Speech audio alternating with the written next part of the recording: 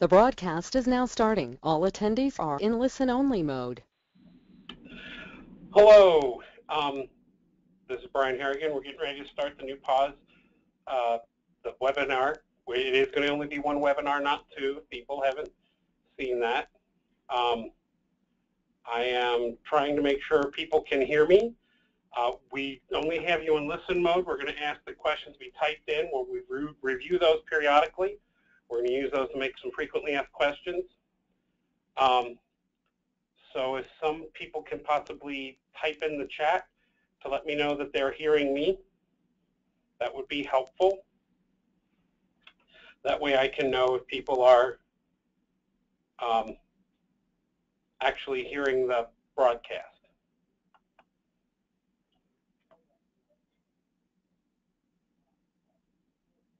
Okay, so people can hear me. Yes, we will be posting the webinar slideshow and the documents on the website. Um, no, they are not up right now. There was a couple of them we had to make a couple little tweaks to. We found a couple little grammatical errors, so we're getting that fixed. They will be up. And uh, so that's that question. Glad to see people can hear me. And we're right on time. It, we do have a lot to cover. It may go a little over an hour today, but we should be in an hour and a half to be able to do that and answer questions today. So, um, and I'm basing on basing on what I can see, it looks like everybody has just the screen that says new PAWS system, the basics, and you're not seeing other pieces of the uh, PowerPoint talk about slides and advancing. That should be on my other page. Okay. So if anybody doesn't have that, please let me know. And I'm going to go ahead and get started on the webinar. So we have just a review of the workflow, the new workflow. Those of you who have been able to get in the training environment, we do know that there's a problem with the training environment today. Um, something happened last night, and we're trying to get that fixed. Uh, people are logging in and just not getting the application. But the workflow, finalize the cost projection like you always do. That doesn't change. Authorize the cost projection in the SPA area. SPA area itself has changed a little bit, but that part of the process doesn't change. In SPA, after you authorize, you're going to we're going to display all of that information in a what we call PAWS preview page. And I see somebody can't see the slides. Hopefully, uh, Dana, can you possibly see it? I mean, it's that's the main screen that's up. According to my stuff, that is the screen that's showing. So um, hopefully you can see that. If not, I'm not sure if it's your computer or if there's something else going on. And if anybody else is having that same problem, please let me know. Um, so when you get to a PAWS preview area. There you'll be able to do some uh, cha small changes to PAWS, do some editing, and then you will have a, the ability to hit a submit button. Upon hitting the submit button, you'll receive confirmation of enrollment or a listing of errors that prevent enrollment. So if everything's in order right then, the PAWS is enrolled. No waiting 10 days, uh, 10 days for us to process it and send you back a response.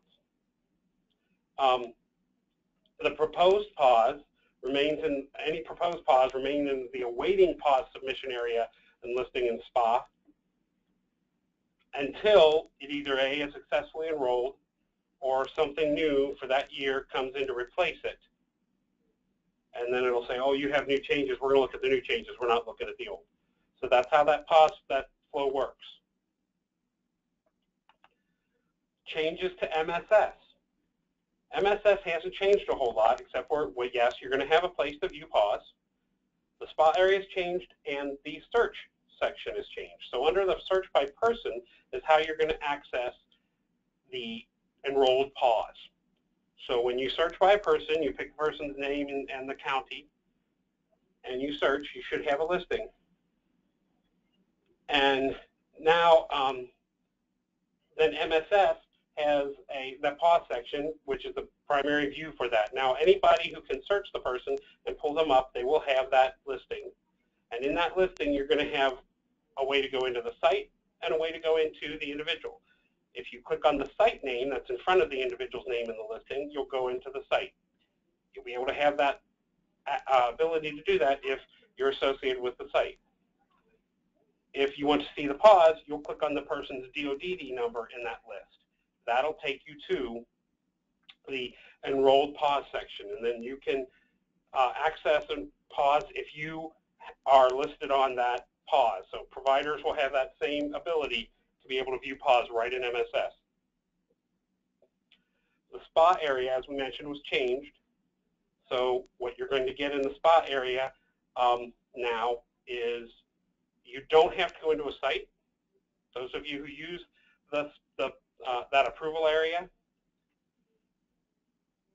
you go in and instead of having to go into a site, you can go directly to SPA now, and it will, you tell it whether you want to view awaiting authorization, or waiting PAWS submission, or um, awaiting authorization. If you're waiting for plans to be authorized, you put that in there, you're going to get a listing of all the people in all of your sites across your county that are waiting for authorized authorizations on their current cost projections. If you pick awaiting PAWS submission, you're going to listing of all the people who have a PAWS that's waiting to be submitted. You would then choose them from there and, and do the part of the work that you need to do. Once you've authorized the PAWS for someone, we'll take you directly to that PAWS and um, what we're calling a PAWS preview page so that you can do what little tweaks you may need to do with it if you're the person to complete that. And then when you uh, complete that and hit submit, if it enrolls, it enrolls. If not, it'll give you the error messages. MSS SPA, we're talking about the preview page there that I already mentioned. I'm a little bit ahead of myself. But when I talked about the tweaks, you'll have some limits that you'll be able to do some editing within limits because they're trying to make sure that the cost projection and the PAWS have a link that they're, we told CMS that the cost projection is going to be what the PAWS is based on, so we can't just let, you know, things be changed willy-nilly or any, in any which way people want. Um, we do have um, the past four years of the enroll PAWS are going to be in the new system. So we're going to pick those up, put them in the new system, put them in those databases. The old PAWS will still be there for viewing history, even back farther, but we need those in the new PAWS system. And you'll see why in a little bit. MSS also has a few reports in PAWS. One talks about PAWS history report, and the other one talks about PAWS authorized finalized plan report. So you'll be able to go in here and see what PAWS are were enrolled. You'll be able to see which ones are finalized, authorized, who authorized them, and when. You'll still have your um, data warehouse reports related to PAWS. Those will not change. Roles to access the PAWS. MSS roles have not changed. We have added some functionality to those roles. So out in the counties and for the providers, the the role, your role won't change. If you've got MSS right now, we're, we weren't going to change it unless we see in, see in the background you're supposed to have um, a higher level to do the PAWS work that you need. So SSAs, SSA supervisors, people with read-only, they're going to be able to go in, they'll be able to do that search by person, they'll be able to go into the person's PAWS because they're connected to the person the people with the MSS supervisor with authorization and MS fiscal administrator roles who already have access to SPA in PAWS, or SPA, will have the ability to go into the PAWS submission area, the preview page, and submit PAWS. Now, what we're going to do is we've looked at everybody who has PAWS roles, and if they have the corresponding MSS role, you're good. We don't have to change anything. But if your role grouping that you're in and you have that, needs a higher level because you maybe only had MSS read, but you had PAWS to enroll, PAWS to be able to uh, submit PAWS, We're going to upgrade your MSS to supervisor with authorization. Okay. MSS provider roles, like I said, they're going to be the same. They they have the ability to enroll PAWS that they are listed on, just like today they can go into PAWS. It'll just be in MSS. I want to review what a PAWS plan is going to look like. And this is going to be an enrolled PAWS plan. So I'm going to bring one up and show it to you. So here is what happens when you click on the person's DODD number and you go into PAWS. This is the first piece you're going to see. Notice that we have the individual's name, Medicaid number stuff up here. This is all fictional. This is taken out of training environment just for everybody's um, benefit and so everybody knows. You can see that we have two enrolled PAWS years here. I can look at plan info, which gives me a listing of the enrolled PAWS. I can look at comments, and if I click on this comments tab, you're going to see this screen. This is a comment section that pertains to the overall person and overall PAWS, not based on a year. You can see that if you type here, you get a comment, it shows up here. I typed in testing, entered it. This is the comment. This is who put it in and the date that they put it in. When Medicaid numbers get update, updated, we're going to do an automatic listing here. So this is where you can see those general across the board, not pertaining to any one specific year comments. Suspension info is there too. If you click the suspension tab, you're going to see suspensions listed. You will not be able to add suspensions. This came out of the training environment. Training environment gives you the admin role so that you can do everything you need to do. But county boards and providers cannot enter suspensions. We will enter them here at the department.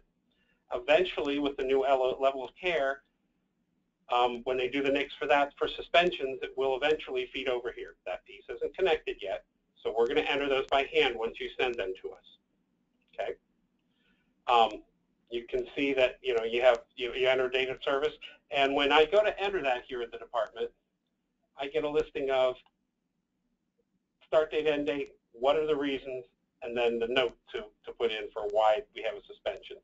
So when we put that in, that's where you're going to see this all right there in a, in a line. Okay. If you choose the waiver management on those tabs, this is a listing of all the enrolled waiver spans that come from WMS. Short, simple, nice place to see that. It means all these, and it's enrolled. If it's not enrolled in WMS, it's not going to show up here. Okay. So that's what you have for that first landing page. If you choose one of the years, so we're going to scroll up back here, sorry to make people dizzy, and say I click anywhere except for delete, anywhere on this line, I click on it and choose it, I'm going to get this display for that year. Notice we have names, bunch of different information, prior auth if there is one, DDP ranges, versions. This will be an active drop-down if you have more than one version. If you have more than one version, you'll be able to pick two and it'll say compare versions and you'll be able to click on that and it'll list the details um, one above the other in the same page. So if you notice you have this, if you have the ability to edit PAWS and you need to just change a few units from one side of the fiscal year to the other, you'll be able to pull this up and give you a preview page, do those edits, submit it again. Um, you won't have the ability to delete a version. That'll be here at the department. You'll, you can see the plan information right here. You know, some common community match force enrolled. Here are the comments that are based on the actual year that you're in. So if you're running through these units down here, have to make changes, you want to make a record of it, type it in here. It comes up most recent, followed by an older one, and we put the username and timestamp on it. Okay. These are not able to be edited once they're entered. Same with the other comments. So once you type it in, before you hit that save, make sure you look and make sure what it says is, is okay, because you won't be able to edit, edit that exact comment you'll be able to enter another one to clarify, but you won't be able to enter that exact one. Service detail lines. This is what basically is the same as before as far as detail lines. Service code, begin date, end date, contract number. You can see the service title, how many units, frequency, the total units for this and cost for this fiscal year, total units and cost the next fiscal year. Um, the rate band, if it's adult foster care, adult family living. What you see out to the side, since this is an active form, it's not uh, scrollable. After rate band, you're going to see data entry. Who is the person who enrolled that PAWS? Who clicked the button to get enrolled? So you're going to see those are the detail lines. If I compare one version to the other, it takes the version that you've chosen and compares it to the previous one, and you'll see this basically this screen right here that has the details, and you'll see another one just like it, and it'll say current or version two, or if you're comparing two to one, you'll have version two, version one. Three to three to uh, four, you'll have four, three. So it always goes to whichever version you have selected, and you compare it, compares it to the previous one. Okay. So that's what the PAWS is going to look like. Shouldn't be um, a major change for anybody. Um, oh, let me scroll down because there's a little bit more.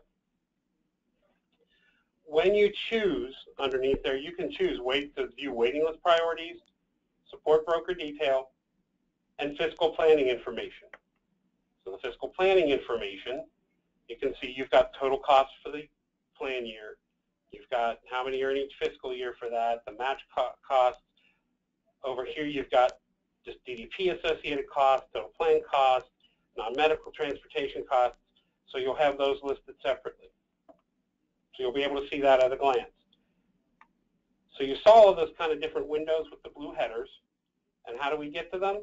Well, we land on the PAWS plan information page right away. If you want to see the waiting list priority stuff, that window we show, you can click here. Support broker here, fiscal planning here, or you can choose all and it'll list them all right down the page in that order that's listed here. Okay? So you've got a couple different choices on the view of that. Let me shrink that, and we'll get back to our slideshow. Existing enrolled PAWS plans. So the old PAWS will continue to be active. It just will not, you won't be able to make any changes. It'll be read-only. So we have it there for historical purposes. You'll be able to look at what was approved at that time. What you will not be able to do is make any changes in the um, old PAWS system. We're going to bring the last four years of data over to the new PAWS, and then we're going to take all of the pending county review or other submitted plans that were not enrolled, and we're going to take them through a conversion process. So that's going to be the first step, and that's going to now happen on the night of the 25th. There have been some updated dates here. We'll talk about those in a minute. And the conversion process, this is what you can expect any of the PAWS plans that were pending that hadn't been enrolled, we're going to go ahead and run them through our edits that the system's going to do in the future. If they can be enrolled, they'll be enrolled right then and there. We'll put them on our enrolled list. They'll be entered into the system, the new system. Any of the ones that didn't pass and had error messages, we're going to, here at the department, go through and determine if we would have enrolled them prior to all of this. Could be that, you know, hey, we're a couple dollars off on NMT, something like that, and it's like, hey, we would we wouldn't have quibbled, we just would have enrolled that. Then we'll put those in the enrolled list as well. Any of the ones that we cannot get enrolled, we're going to put them on a different list. That'll be an Excel spreadsheet that'll be sent out to every county and say, hey, these were PAWS plans you had submitted that couldn't be enrolled and now you're going to have to submit them using the new process, which means you have to have a cost projection finalization and an authorization to get to that PAWS preview area so that you can hit submit. Okay. The other thing that's going to happen is once we get in the new system, we're going to look at all of those spans that were broken because of a DDP split. So the plans where I had two PAWS plans for one year because DDP range 2 was in one and DDP range 6 was in the other, we have them both enrolled. We're going to now make this look like one year. And so we're going to see it listed as one year, but when I look at the detail lines, those aren't going to change. So I'll have, they won't just be broken by fiscal year, they'll be broken at that level by the PAWS, or by the DDP break. That will be going away in the future because now we're going to have PAWS work just like CPP, which says if you have two DDP ranges, we're going to go ahead and give you the highest one and bounce everything up against the highest one for the whole year. Thought is, if you're planning for $80,000 for even part of the year, then you should have been able to stay under $80,000 before needing a PA. And so those plans where I needed a PA for short of part of the time because I was over the DDP, but I didn't need it for the other year, that kind of goes away. We're looking at everything as a year now. If they need a PA, we'll go ahead and do a PA. But it's it's going to, those ones that were really difficult because cost projection, he looked at everything as a whole year, but for part of the year you were over the DDP and you had to figure that out and send us in a PA for all that, that's going to go away. So hopefully that makes some sense to people and it's not of earth-shattering. When you submit the button, you're going to get errors. And I don't see any new questions, so I'm hoping things are going well.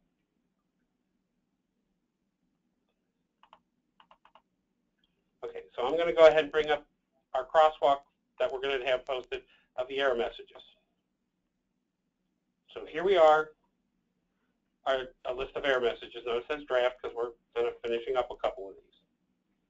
This is going to be available to you because when you get an error message, you're going to need to know what it is, what it means. How do I fix it? Those are the first questions. Some of them we hopefully you're going to understand just by reading the message. Okay, D, you're asking to slow down a little bit. Um, I can slow down. What did you have any questions or anything I needed to review again, D?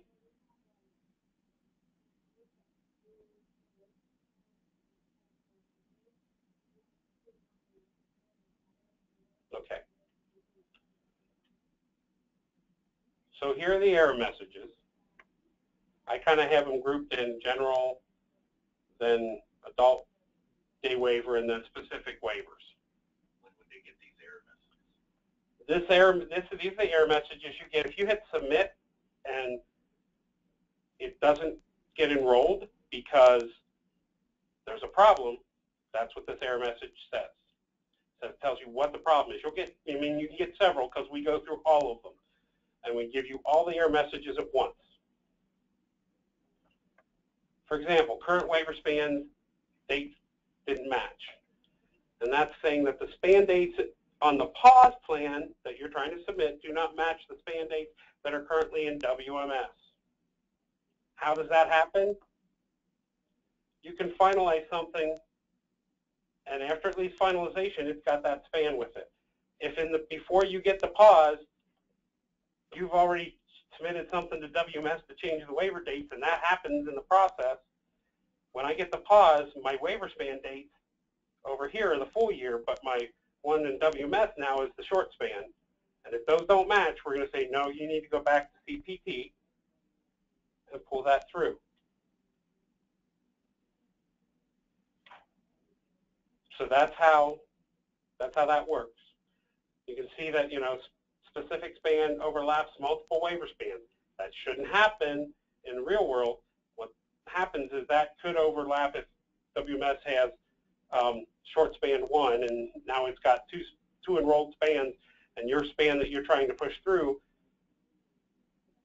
it has the both overlap both uh, short span PAWS plans or short span waiver spans are covered in this PAWS plan.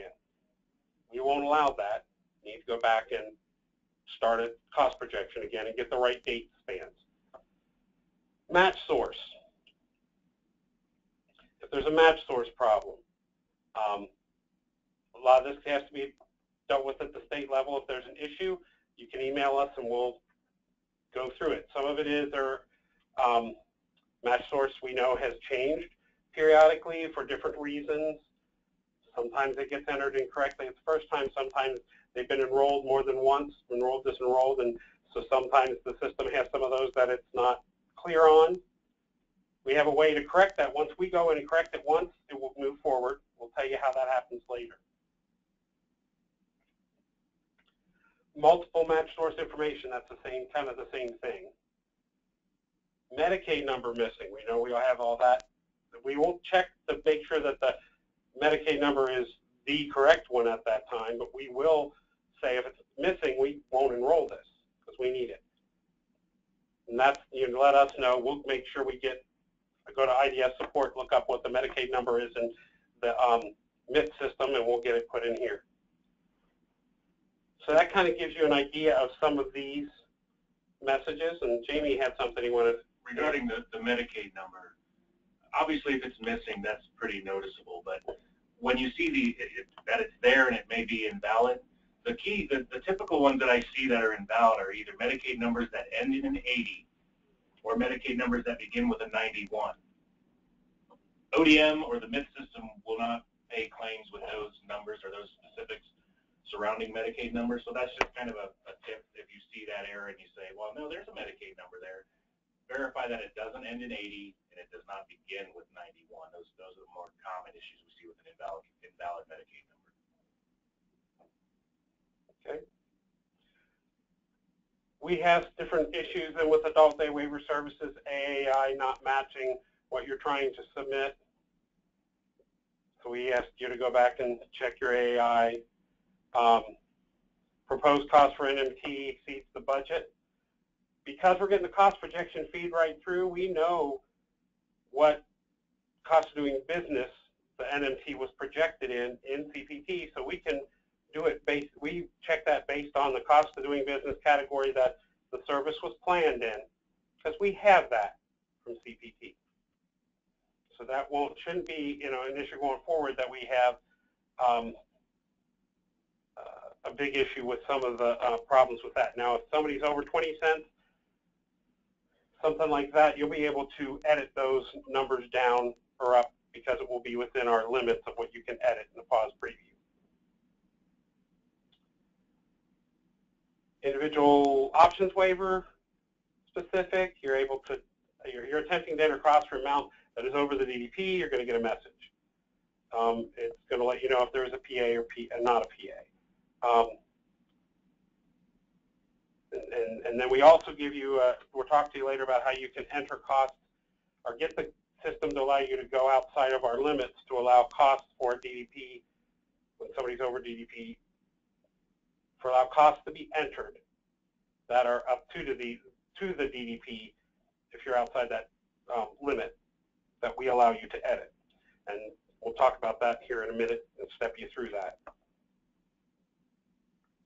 Um, if you have a PA, it's going to read if there's a PA. It's the same as MSS, and it's going to look back. And if you've got a PA, it's going to look at the PA amount. So it's also going to tell you, hey, you're over the approved PA amount. You may need a budget adjustment. And again, it's not going to allow you to do a budget adjustment or allow you to submit this unless we have this in there.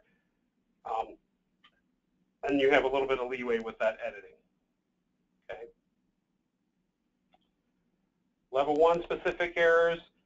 The three-year period is going to be a big, a big one. So here we have all these services that are you're allowed five thousand dollars. We're going to check that for the year. Um, trying to authorize a combination of services an emergency that are over the 8,000, you're going to get some kind of message like this. That's going to tell you you're trying to authorize this amount for the three-year period of, and it'll tell you what the three-year period is.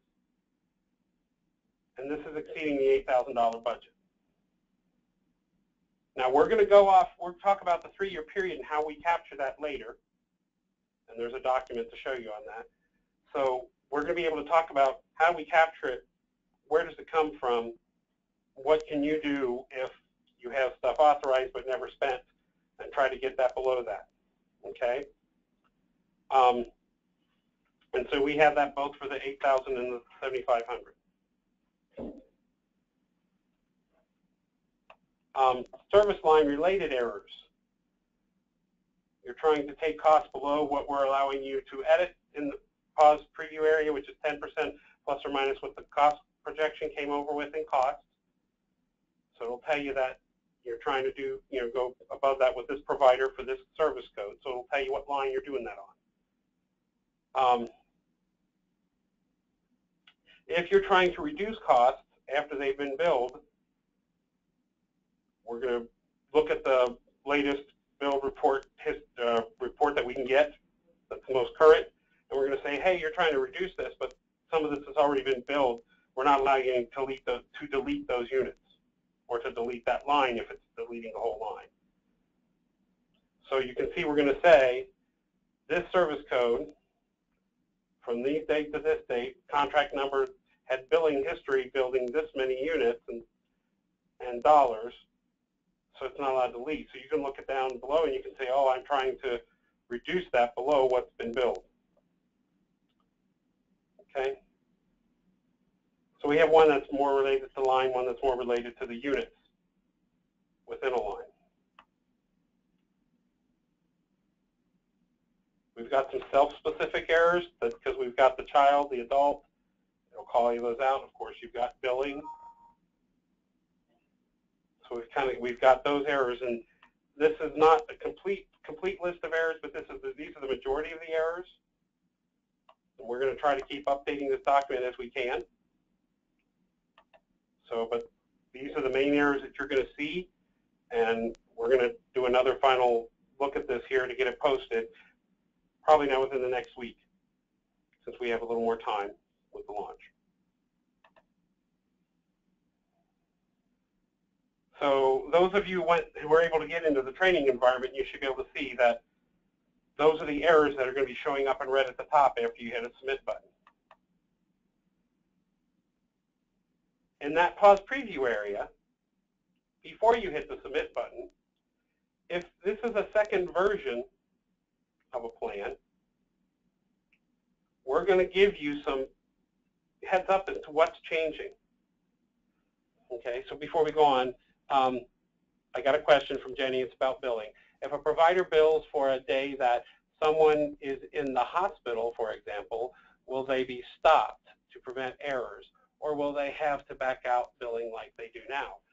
I'm going to hand that one to Jamie because they, some of that stop now, some, it all depends on when people notify us. So I'm going to let him take care of that one. If the, if the county has notified the, the, the state level with a mix form and then the PAWS specialist, they'll still, and we'll get to what they'll be doing, but they'll still be submitting the suspension information. So billing is going to still go and look and see if there's a uh, last date of waiver service, and then if it's an open suspension, it's not going to let any claims through after that. But then if the suspension then gets closed or it has a restart date, then any claims that come in after that on or after that restart date, those will go through. So the suspension process is still there, but it's all still really based on when we have the information to enter into the system. So effectively, if, if you get it to us pretty quickly and we get it in there and they go to bill, if it's in there, that'll get stopped. If we don't have the information you have to put it in, then we have no information to stop them. And then they'll have to back it out. Uh, like we were saying, that eventually we're going to have those suspensions just feed from the NICS. Okay? So we'll go back to what we mean by color coding. So if I have a second version of a plan, second or higher, correct, Jamie corrected me. So, so if I already have an enrolled PAWS plan and now I'm changing something, when I go to the PAWS preview page, I'm not just going to see blank lines, I'm going to see lines that are color coded. And yellow, a yellow line with orange fields means this is the line that's, that is currently in the roll PAWS, and the line below it is what you're changing it to. So yellow means that line's changing. Orange means this is the field that you're changing. So it can call your attention to, oh, hey, did we really mean to decrease these dollars or these units for this provider? Before you even hit the error message stuff, you'll be able to see this. Red means that whole line is going away. That it's in the current PAWS, but if you submit the new PAWS, that line will no longer be in the new in the enrolled PAWS. It'll be an older version, but the current version won't have it. Blue means that line currently exists in the current PAWS and is not changing with what you're proposing. And then no shading means that the line does not exist in the currently enrolled PAWS, and so it's new. Let me show you a picture of this so we can explain it. So this is basically that, that this is that PAWS preview area, and this is the color coding. And notice we color coded stuff. We put the legend or key up here. Currently authorized on PAWS, field value changed, to be removed, and no changes. So for this plan, you can see 825 has been changed, and here's the line below it that you're wanting to change it to. And you've changed the units from 850 to 816. Down here, you've changed units for the next part of the fiscal year on that same code from 5 for 5150 to 4944. So you're reducing units. You're not reducing dollars, in this case, in this line, it would be just reducing units. On this line, what's changed, the only thing that's changed is the date. Now we are letting you edit some of the dates within parameters, and in this one, since it's A35, which would be a day program, or an adult day waiver services, then what's happening is I'm assuming that it was only on a calendar until 826, so it came over this way, but if you want to make it till the end of the fiscal year, you can change that just to round it up so it's at the end of the fiscal year. So that's the only thing that's changed. But notice the other units and stuff doesn't change, so that's not a big deal. But it lets you know what you're changing. Blue line, this one, is, this line is the same in both the proposed and the current enrolled. That line's not changing. Let's go down here to this ASN. This line is being taken out. And there's nothing underneath, so it's not like you're taking out that line for that provider and giving it to a different provider. It's, it's, it's going to be gone if you submit this successfully. So if it's something that was like behavior mods that haven't been built for and it didn't somehow come through the new version, you're not, you know, you might want to think twice before trying to submit that so you can see ahead of time. So with, with this, this color coordination being in the, what we're calling the PAWS preview page, this is really the page to say, hey, by the way, this is, this is what you're going to tell, tell us to enroll in PAWS. So it kind of lets you look at each line. I mean, this, this example is really just to capture all the different types of things we would see, but a lot of times you'll just see, depending on the scenario, but you may just see two lines changing or two lines being removed, but it's going to vary from person to person, obviously. But this is kind of your, your chance to see, okay, yeah, that's what I meant to do. I, I was I was taking some units away from provider A or provider B. Um, and yes, the uh, ASN provider did not provide any services, so we're removing it from the plan, so that should be okay.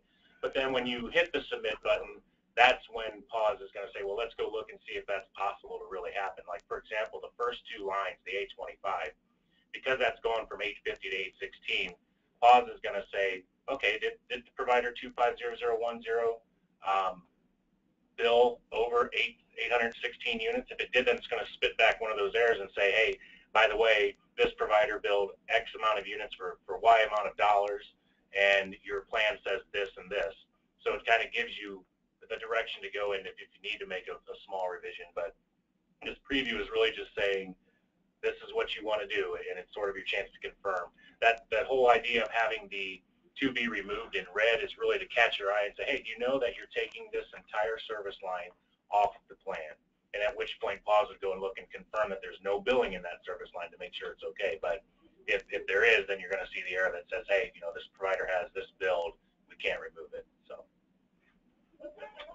So it's a way to give you some extra information before you hit that button to make sure that these changes, you know, what they're going to look like in comparing to the, the next version, uh, the old version that's currently enrolled. Okay, any other questions about color coding? Okay, I don't any, so that's good. Um, what can I edit on the preview page? So the page we saw before, you already know we can let, we allow you to edit units. We allow you to edit dollars. Dollars, we only let you go up or down 10% from what cost projection had for that line. So if I have $100 there, I can go down to 90, up to 110, but if I try to go beyond that, it's going to say, ah, no, that's a little bit too far. So you may have to bring through something from the cost projection to change that, or if it's for the DDP thing, we'll, we'll talk about that in a minute. Um, date spans can be added in, edited with in the side of the fiscal year break that they originate. So I can't have lines go past fiscal year break. We never have been able to. But say I have a line, or I have a line that starts January 1st and goes to May 30th. If I want to take that out to 6:30, I can do that. If I want to have it start May 1st, I can do that.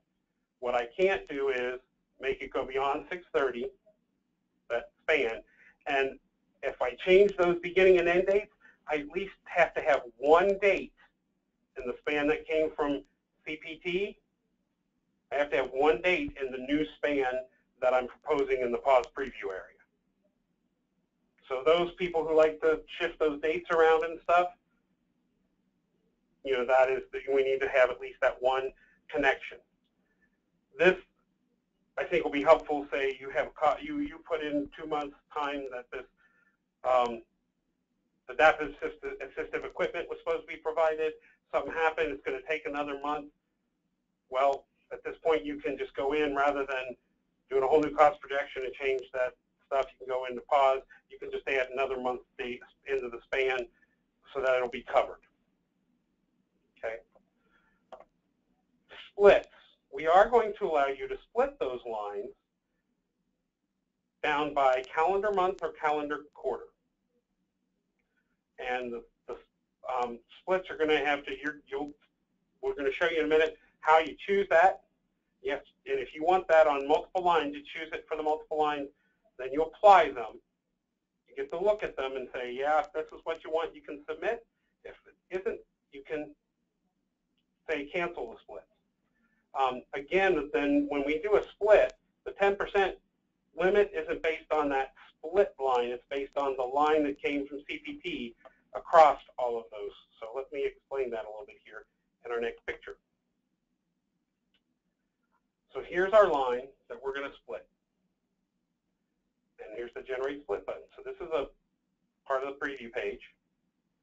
And I say, okay, I want that split to monthly. It's just a little drop down that'll do that. So split to monthly. I hit generate split. It's going to show it to me like this now. The darker purple, or brighter purple, whatever you want to call it, is the original line. This lavenderish color are all the now, it's going to turn this line into all of these lines. Now notice these aren't exactly the same because it's all on, based on proration. Notice that this is for the month of October, it has 31 days. September only has 30. So we're just doing a straight, straight proration based on number of days in the month for, for these two numbers. Okay? Now you can still edit some of these, so say, yeah, that's fine, but we know they're not really going to use all the 205 here because they're going to use it the month before for whatever reason. And this is, I think we use transportation on this one. Jamie, you can tell me if that's the code. That's Oh, Tomica Personal Care. Okay, so say family's coming to get them for October, for half of October. So we're going to transfer some of these units, and we're going to put them in the other months. You can do that. If they're going to be gone all of October, you could really take this down to zero. What we're going to look at, though, is that this number, take all the add up all these numbers and make sure that they're not outside the 10% here. So that's where the 10% limit. So if you like this split, you think it's good, you can again hit submit. If you don't, you hit cancel, and it takes you back to that previous page and where you have the one line. Same idea with quarters. And when we talk about quarters, if say the person's plan starts 12-1, um, well, then you have one month in this quarter, then you have the next three in the next quarter, and so on. So if you do that for the whole year, you're going to have costs probably in five quarters, unless their span starts on January 1st or um, April 1st or July 1st. So just to kind of let you know that. So if you feel the need to do that, you can do you can split them that way. Okay. There again, if you cancel split, down here at the bottom, you either submit or you cancel. Cancel takes you right back, split says, okay, yeah, that's how we're going to put it through to PAWS and try to submit it. Attesting to the need for P, okay, I saw a question pop up. If we have to use the split and adjust the units, will the dollars automatically update? No, they will not. They're separate and independent, so you'll have to know what you're adjusting there. And like I said, we don't really pay attention to the units. We're more worried about the dollars. So if you just move the dollars around but don't use, you know, update the units or you update the units beyond the 10%, we don't care. It's the dollar amount that we're worried about because that'll keep the cost within what the cost was projected within a little bit of leeway. Are the monthly splits only prorated and not based on what is authorized in the staffing patterns? Um, Diane, correct, because we bring it all over in the staffing pattern, so it's all rolled up into that whole that um, roll-up code span. So it's all in the roll-up code. So we don't go back in there and say, oh yeah, but there's so many one to twos and so many two to twos and you know so many um, one to ones and so many in the background. It's all rolled up. So if you want to split it to that degree, you're going to have to know. You know, we're just going to do a straight proration, figuring out most of this stuff is pretty even across the year, and if there's going to be any changes, you're going to have to know that. So if you're so if there is a two-week day program closing in December, will it automatically pull the units in December? No, it, it, it's not going back and looking at the cost projection.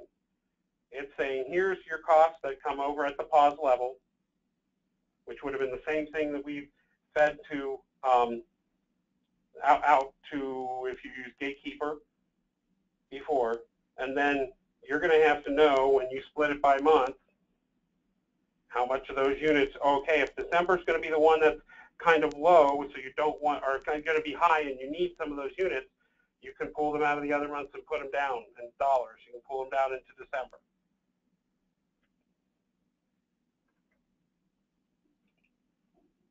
Any other questions regarding that?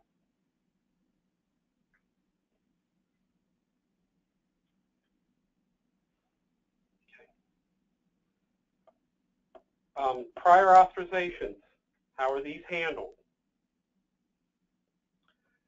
Right now, if you, if you have a PA in and we know the amount, we're going to use that instead of the DDP. If a plan is being submitted and the total costs are over the DDP, and you don't have a PA submitted to cover those costs, you're going to get the DDP error. If you get the DDP error, we're going to allow you as the county to attest that you are aware of the need for a PA, and then, then we'll allow you to crease, uh, decrease the dollars below that 10% limit to get under the DDP, to get services in, to get them started. It doesn't eliminate the need, eliminate the need for the PA. What we're wanting to know is that, hey, you county, you know there needs to be a PA. If this isn't done in a timely manner, it doesn't get in there in time to adjust things, then we're not responsible, and Medicaid isn't responsible for the cost. You will be at that point because you authorize the cost in a PAWS plan, or not a PAWS, in a ISP, but you didn't follow through on what you needed to do to get them submitted into Medicaid under the PAWS. So it gives you time, but we have had in the past people submitting PAs a couple months after the, the span is over and kind of negates the word prior for prior auth.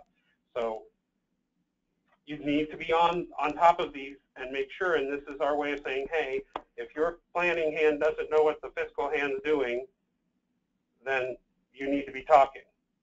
Because the planning hand may, hopefully they, they're getting the PA in, but you as the fiscal side might not know it. Well, this says, hey, you know, we'll let you do this, but then you need to follow up with the other side of your county and make sure you do this. Otherwise, here's the here's the reality of the situation. And we have had counties that didn't get their PAs in on time have had to pay the provider for services they said were required in the ISP, but we couldn't get them in the PAWS. So This is our way of making sure that people are on the same page. So here's how that's going to look. I have a PAWS plan. You can see the funding range is 76, but if I, even for the total cost for the one fiscal year here, it's uh, already over. So we're over by about 7,000. Okay.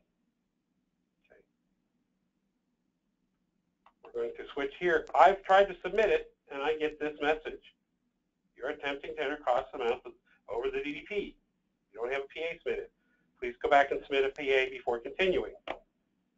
When you get that message, we're going to allow you to see this at the bottom of the page. I'm aware.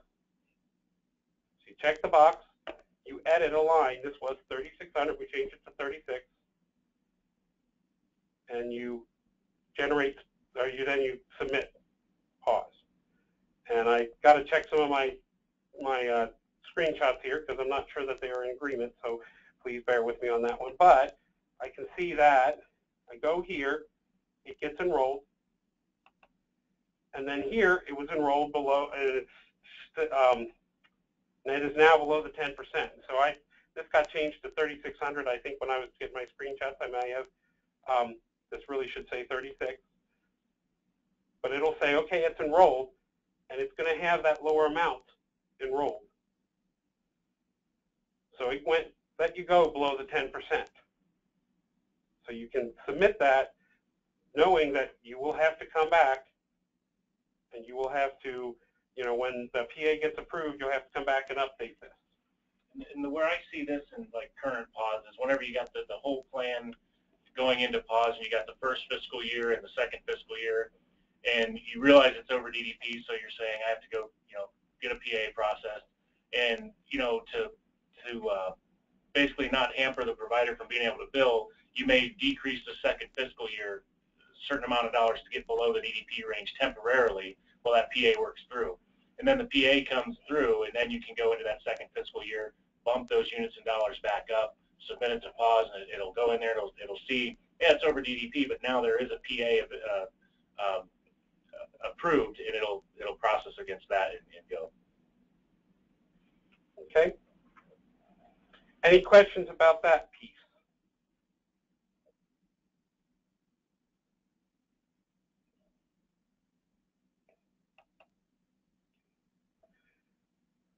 Here's the here's probably the, the hardest part of the webinar because it's kind of hard to get this concept regarding the three-year periods and how PAWS is going to work with them.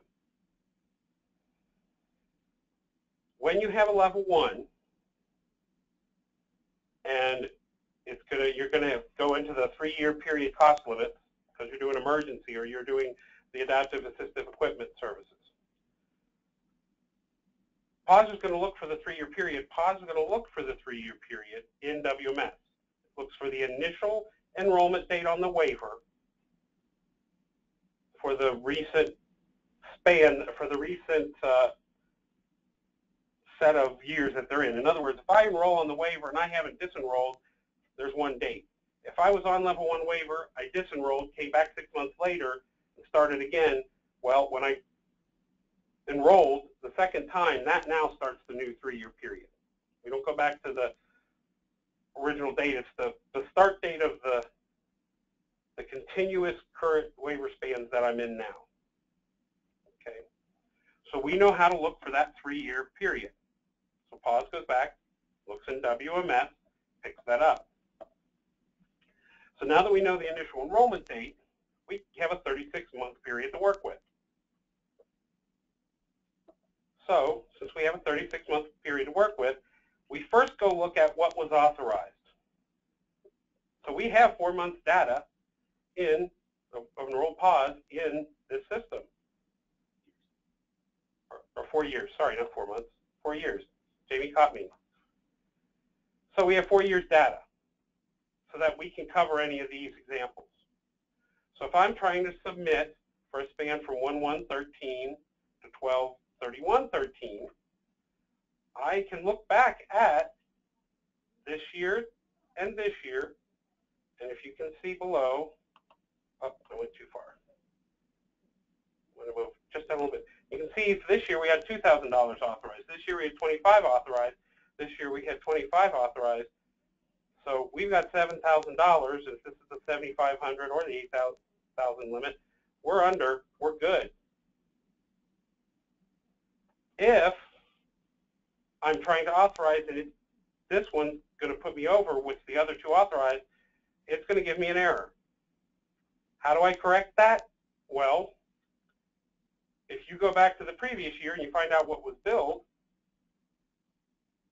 and you come back and update the cost projection to take that out, then that'll free up what's been authorized here for this year for that service, and you hopefully it'll have enough room. You can do that for the previous two years. So you'll be able to update those pods, and if you're taking them down and the billing um, stuff has is stuff uh, the billing hasn't come through, then you can reduce that.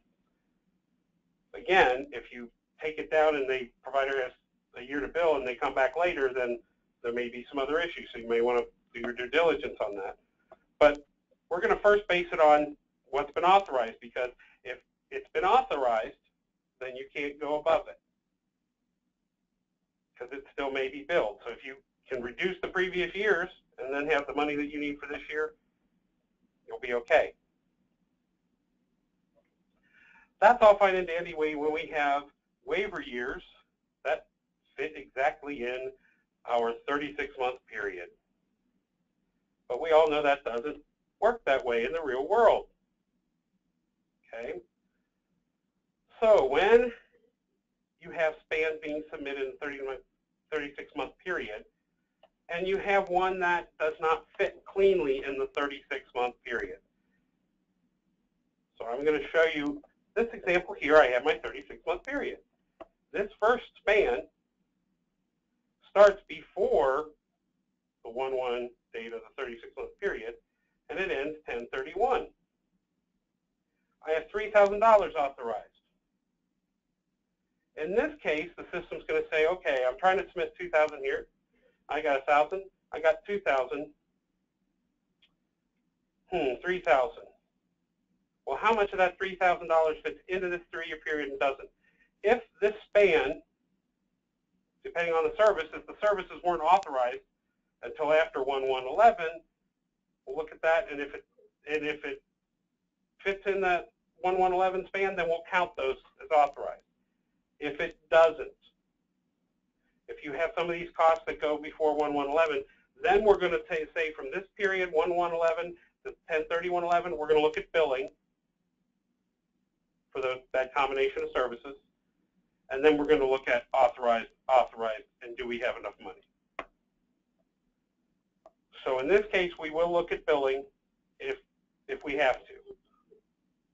But we're not going to look at it, and you know, if, if everything lines up underneath there, we can definitely tell us tell how many units are under 1.1 to 1231 and has been authorized. We're good. If not, we'll look at billing. So that works on the beginning end. If you look at it on the other end, I have my this waiver span starts at the beginning. We're good. We're good. That fits in. This span's been short spanned. So now, I don't. If this $2,000 that I'm trying to put in for the year 11-1 that goes beyond 12-31-13, if I know, and I've broken up the CPT for these services to say, hey, these end 12-31-13, and I know how many units and dollars fit in this span, then I can compare it to what's authorized.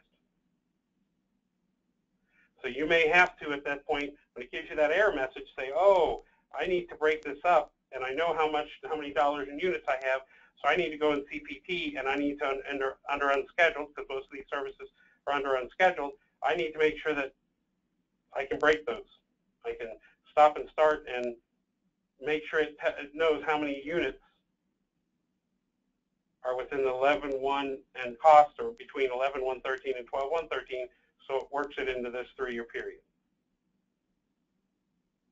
Again, if, if you have unused authorization in any of these, you can go back, submit CPTs to update the PAWS to reduce those to free up money for this year. But if this doesn't, you know, fit real cleanly, then you're going to have to somehow make the detail lines fit cleanly for us.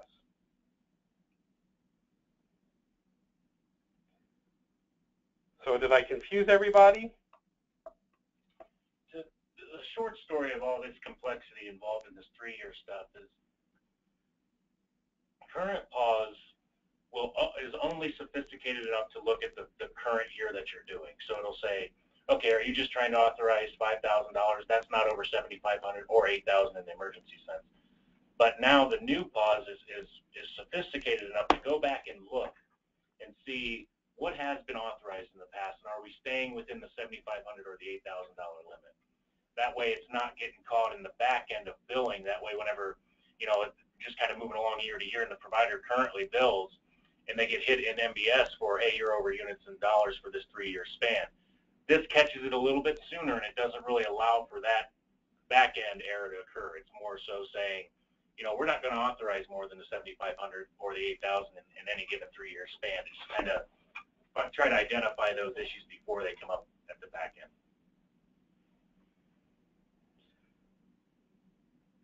Sounds like I put everybody to sleep. So hopefully that's going to help people on the front end of that because we know that there's problems more so with billing on the back end and people knowing what is the three-year period and all that. And some counties kind of have it down, some counties struggle with it, and it's because it's not an easy concept. But we're trying to bake it into the system to make it much easier on you. Okay. So we're going to move on from that if I don't, so I haven't, because I haven't seen any questions. So I either explained it really well or I've just confused the heck out of you. So where does PAWS get match source? Next thing. Um, just like the current PAWS, it'll look back to match source first start, starting with waiting list record that wasn't used to enroll the PAWS. And it'll do that for everything unless we have overridden, manually overridden that um, waiting list record or the match source. There are a couple reasons a match source might change. We have had some that got put in under the wrong match source. And if we get that, we've got records of all that stuff, and we can research it, we can update that. We have people moving from county to county. There's problems with um, counties being able to afford some of this stuff. Uh, if it's appealed and goes through the proper channels, and we are told to change the change the uh, designation, we can change it. Um, how that will happen is here at the department, Jamie, myself, um, a couple other people have admin. If we've got the okays to do that, we'll go in and for one year, the one year that we're starting with, we have the ability to override the match source and say, no, it's not this, it should be this. And it'll change everything in that waiver year. And then going forward, when PAWS goes to look, it'll say, do I have anything that's been overridden in previous year? Oh yeah, boom. So that's the match source, that's what we're using, instead of going back and looking at the waiting list again. So once we get those corrected once, it should move forward. Jamie was able to do a lot of that in the current PAWS because we've had a couple times when there's been a conflict. We have people who were enrolled under one waiver and then disenrolled and came back. And the match source from the first one somehow got bled into the second one, second enrollment, and people say, no, it's not community, it's Martin. No, it's Martin, not community. When we research it and say, no, it's this, well, every year we would have to go back in and make sure that that gets entered correctly. Now we do it once, it's done, until we were told to change it again. So if you have a problem with the match source or it doesn't seem to be right and you talk to us, we'll get it researched and once we put it in, it's going to move forward that until we get another update. Billing information, and Jamie may, may have to help me with this, but you know, PAWS is going to be looking at the same report that um, we get that's updated weekly after we pull the Wednesday billing and run it through the process. So I'm going to let Jamie explain this a little bit on here to talk about where it looks in the, non-denied bill claims out there. So basically production runs every Thursday and then the bill file is updated, you know, through that process, and then data warehouse pulls in the information from the bill file over the over the weekend through a scheduled job. So every every weekend, PAWS gets a new sort of refreshed version of what's been billed. So then it, it, looks at basically what we look at when we run a bill history, and it just looks for non-denied billed claims. And it looks for um, basically any billing that occurred in specific spans. So the billing is as up to date as it can be on Monday, Tuesday, Wednesday.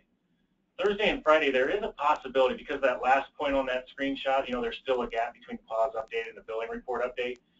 On Thursday and Friday, um, there is a possibility that, you know, you're pushing this plan through and you're reducing a few units or some dollars, and there might be some claims out there in limbo that a provider is billing as you're doing that work. PAWS won't know about it until the following Monday. However, we will be able to see in the future, we'll have reports that come out every week that say, hey, you know, here's these few claims that are currently approved and paid, but they're no longer supported by an authorized PAWS plan. So we may see some of those. I'm not saying you shouldn't enroll plans on Thursday or Friday. I'm just saying that there is that slight possibility that down the road you may have some uh, uh, correspondence from the state level saying, hey, you know, we found these these uh, few claims that were billed and they're no longer authorized on a plan. We'll talk a little bit about that whenever we get to what the specialists are going to do. But so I guess the point of this is that PAWS knows what has been billed up to, as up to date as it can, with the, the exception of those few days where there might be some claims kind of sneaking in. But what we have seen, and, and, and an example on this is say you have a provider that you know they're, they're still billing along, and you tr you're trying to lower units in dollar. Let's say you're trying to, to end date their service line.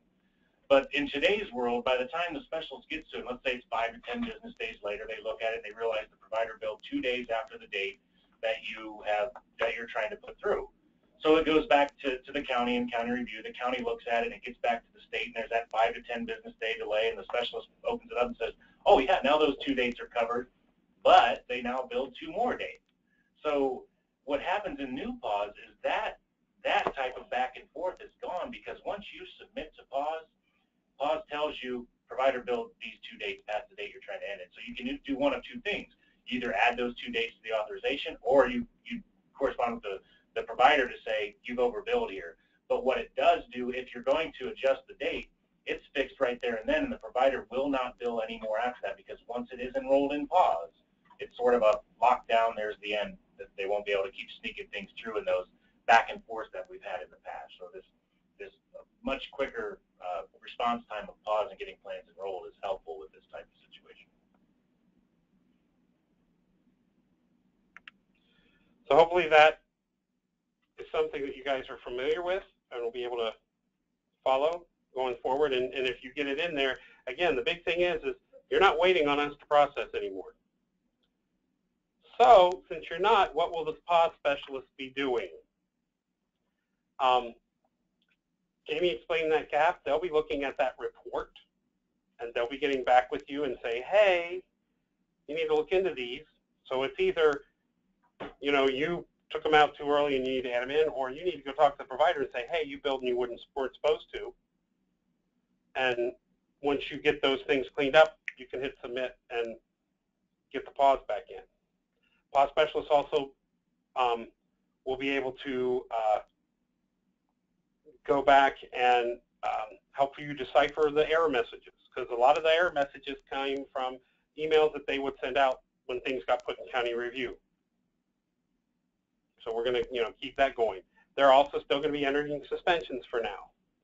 So there's that, and we have a couple other things we're going to try to get them to do, and I'm going to let Jamie expand on any of that. Another part of that around suspensions will be, you know, while we're looking at the, the there's two separate pieces of it. While we're looking at the claims that may be paid that, that aren't on an authorized plan, there's also the piece that maybe there's some billing that came in prior to a NICS form being submitted. So this provider bills on 9, 9, 10, and, and uh, later on we get this NICS form that says the individual's in the hospital from 9-1 to 9-12.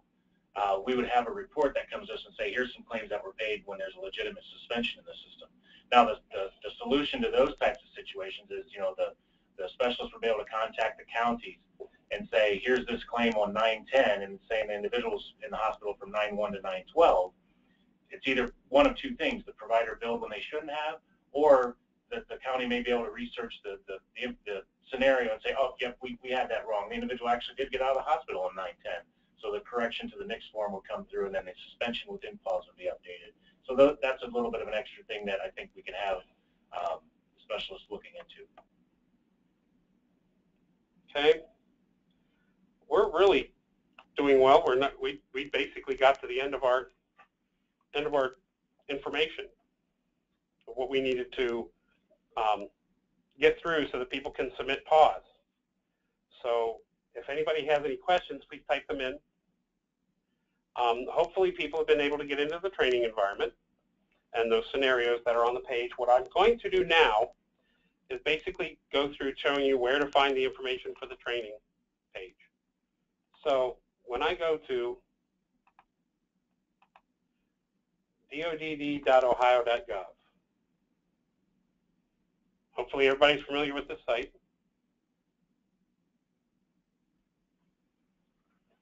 And I'll answer that your question here in a second, Greg. So here's county boards, Medicaid Services System. You can see resources. Here's our webinar training link, our webinar link. So we're going to post the, the um, webinars. We're recording this one. So yes, you'll be able to hear all my um, mistakes that I said in recording. They'll be here, listed under here. Here are the scenarios that pertain to PAWS. They have PAWS parts in them. We have individuals in MSS, if you want to know the listing of the fake individuals. Um, training ID assignments, so you know what county has what assignments and what password, user name and passwords are. How the instructions on using the training environment, because we want people to clean up their sites when they're done. So there, you have the admin role to admin delete them. So and this also have the, the link to the, the website. So that's where you can find the training environment to run through those PAWS to try to practice that and get to know the system. Okay. Um, Greg Williamson, because I'm going to go back to the questions, asked about the MSS and Gatekeeper. We are not changing the MSS Gatekeeper where it pulls the MSS piece. That was still going to be there. There's going to be an additional place that they can pull now where they will pull the enrolled PAWS once they are done. Gatekeeper has the information. Gatekeeper has been working in UAT, our UAT environment, pulling stuff down to get ready for that. Um, please contact them regarding that when they think that'll be ready. Um, so it'll be a web service call, kind of like that stuff is now, uh, pull that stuff down and then be able to be put in your system. So when that's ready, you'll be able to pull down not only the MSS, but the enroll pods associated with them and continue to use that for anything you need to do to manage fiscal stuff after that. Um, when someone has two AI ranges due to receiving both supported employment and ADS, how do we manually enter a, the lower AI authorization into PAWS? You don't. What happens is if you're going to project between the two, MSS is going to bring that over, and MSS is going to um, have those those lines directly out of the cost projection. So we need the higher AI. What you can do is if you know the cost is being decreased by so much for the one provider, and you really want to put it in PAWS, hopefully it's not over 10% difference because you'll have that 10% leeway to do that. You may also decrease units um, to make sure that they're staying on, on track with that. But at this point in time, because the way the AI works is we go off what the higher score is. And when they have that differentiation, really the limiter isn't PAWS, it's the, ISP that says, hey, here's what you're allowed to bill. And we go by cost projection, and cost projection only has the one AI. So it's going to project at the higher rate, pull over, and you're going to have to manage some of that through the decrease in the uh, cost on the line levels, and, hope, and hopefully that's the 10% is going to be enough for that, but that's really going to be um, something that you're going to have to try to figure out how to manage some of that and track it. Because right now, Some counties just put in what MSS has, and if, if the provider billed at a higher rate than they were supposed to, then that's going to be back on them. If they were only authorized the lower rate in the ISP, then they could be caught for fraud going forward. Yeah, the training environment right now, Jenny. Um, Jenny's asking about the training environment. Um, we are notified that. I have people in IT working on that right now. Something happened with the um, user role permissions last night for some reason. Don't know. They're trying to figure out what update was done that did this so that they can get them working again. So we'll kind of let you know as soon as we know that they're up and back up.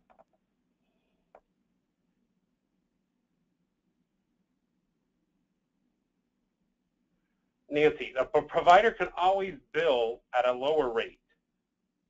So if the provider is supposed to be billing at group A rate, but what's in AI is group B for, say, supported employment, then we have to have the B to be able to capture the higher one. And they are supposed to be billing through group A, and that's supposed to be in their ISP that here's what your rate is.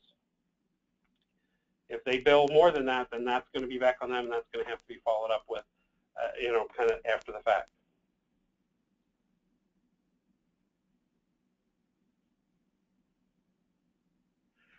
Okay, for those people who, because of supported employment, have costs that are above, um, that they were allowed to get additional costs above that because they had so many units, and now when we increase the uh, support employment rate, Jody, you should be able to authorize those or finalize those in CPT right now. There is a listing of those people with their limits baked in the system. So you should be able to put that in there, and it should get through the finalization piece.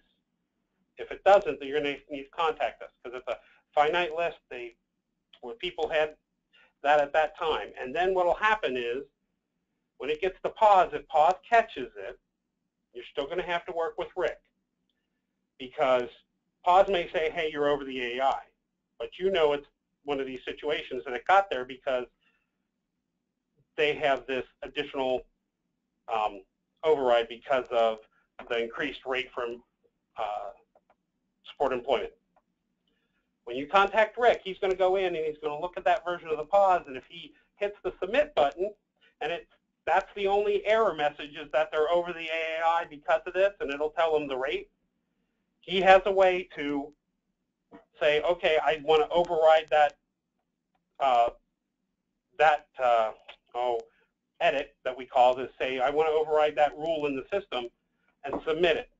So he'll check the little button that he needs to override, and then he'll hit submit, and then he can submit them as he does now. So that will stay the same for any of those people who have that um, additional uh, amount of dollars because of supported employment that they were receiving prior to the increase in the rate. And those people should already already be on record. There shouldn't be any additional ones at this point. And those that Rick would enter, he's still going to enter them. You just need to make sure you take care of all the other errors messages for that PAWS before you send it to him.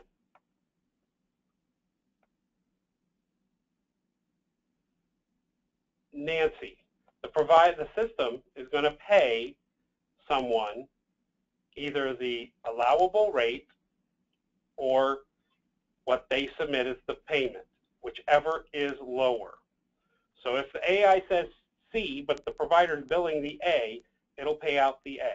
That's why it's back on the provider to do that at that point.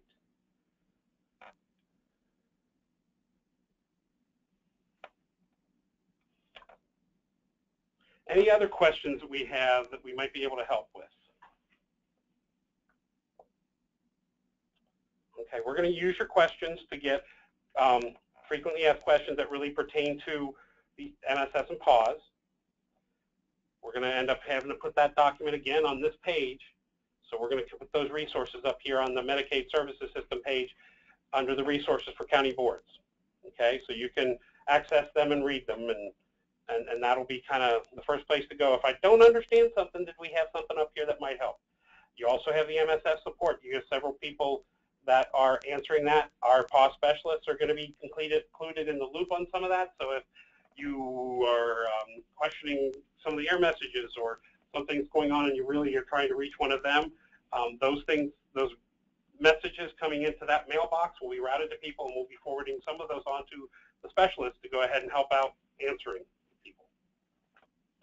Okay?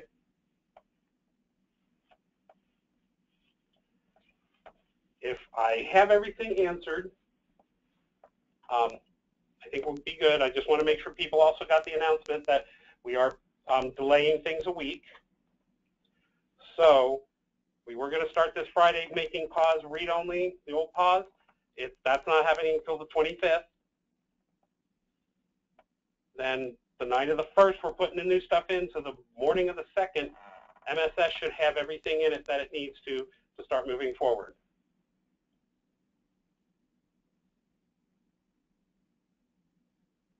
Okay, yeah, Jody, the, the training site has a problem with the user IDs, and we're working on with IT to get that fixed. I have a email out saying, hey, this is urgent, so I, I have to follow up with them after we get off of here. Um, as soon as we know something about that, we'll kind of get it out to the field. They did, security did something last night with that environment that I think that kind of, you can log in, but you can't get the MSS in the dropdown. So we're going to work on that today. Um, key things that might be helpful to you as a provider, as the county board. But remember, anything that's impending, because the county review or something's wrong with it, try to get that back in with all the problems fixed. If it is there and it's fixed, we'll enroll it. Um, if you have any really old uh, county reviews that were sitting out there because things never got fixed, please try to take care of those. Um, if not, you'll just have to do them through the new system. Um, so any of them that are really old that you didn't need, and when we send you back a list to say, hey, this was something that we couldn't process and put in, you're saying, oh, I don't need that, then you never update it, then the PAWS never got up, gets updated. Because we do have some that are a couple years old in there. Um, the spa area, if you know of any that any authorizations that are sitting out there not authorized, go ahead and try to go ahead and get them fixed. Can you please clarify the system shutdown starting on the 19th or the 25th? Yes, the system is not shutting down. The PAWS was going to be made read-only on the 18th. We've pushed everything back a week. So now this whole process is not starting until the 25th.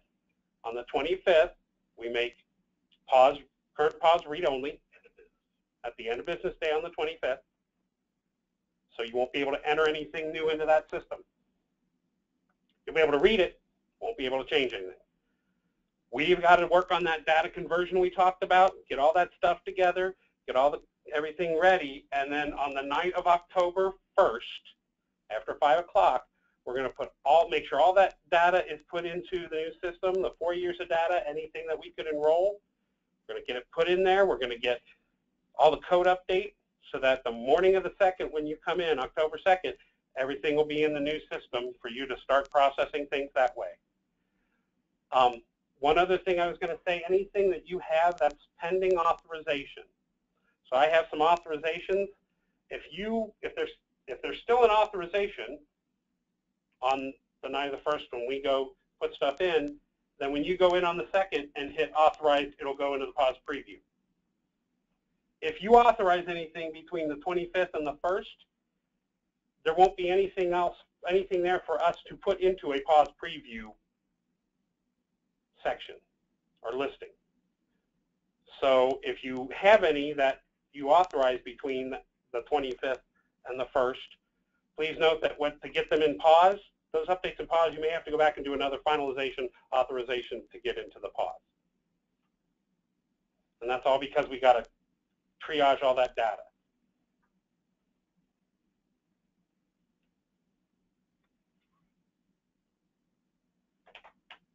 Any other questions before we sign off here?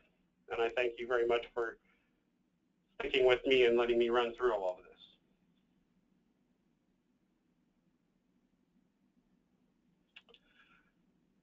Thank you very much, and I appreciate your time, and hopefully this is um, going to be something that you're going to be able to incorporate pretty easily in your in the uh, counties. So, um, you know, we aren't changing the overall concept. It's just where some things are happening. Okay. Thank you very much again, and we will uh, be doing some more webinars. And I got a webinar that's going to be strictly for providers getting developed, so we can put that out there as well, so that they can know where to search for their stuff. Okay. Have a good good day, and if I don't get to talk to you, have a good weekend.